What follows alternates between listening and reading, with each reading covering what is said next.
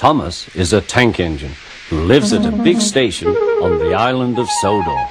He's a cheeky little engine with six small wheels, a short stumpy funnel, a hmm. short stumpy boiler, and a short stumpy dome.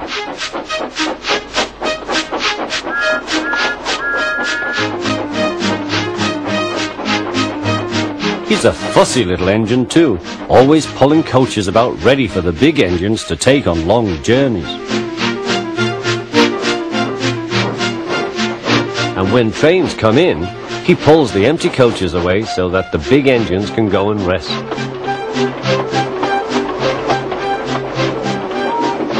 Thomas thinks no engine works as hard as he does. He loves playing tricks on them, including Gordon, the biggest and proudest engine of all. Thomas likes whistling rudely at him. Wake up, lazy bones, why don't you work hard like me?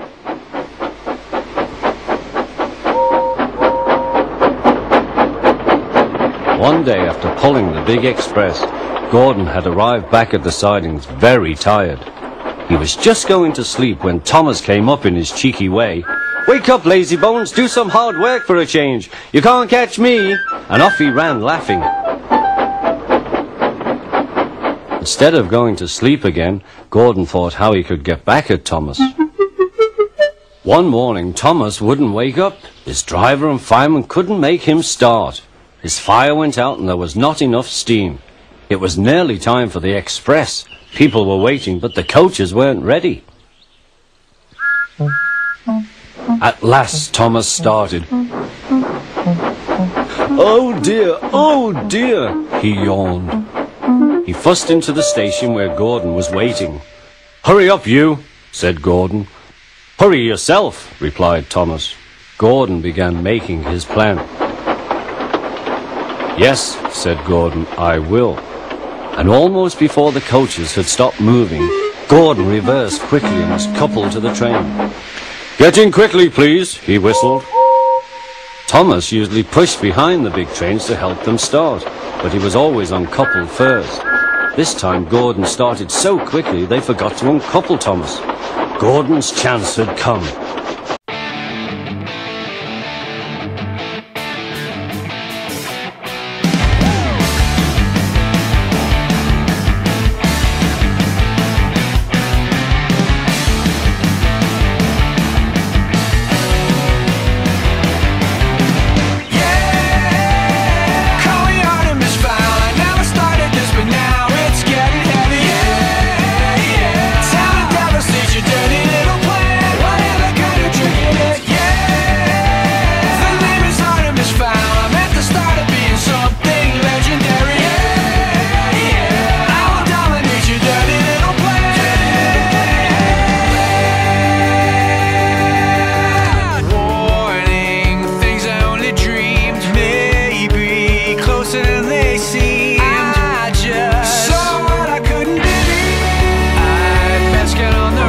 Last they stopped at a station.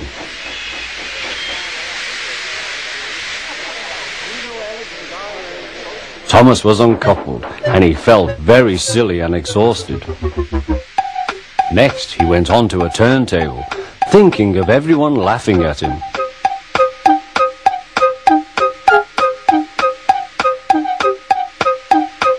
And then he ran onto a siding out of the way.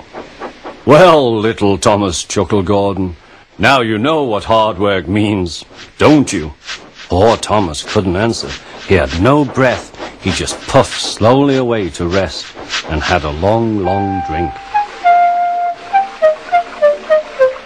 He went home very slowly and was careful afterwards never to be cheeky to Gordon again.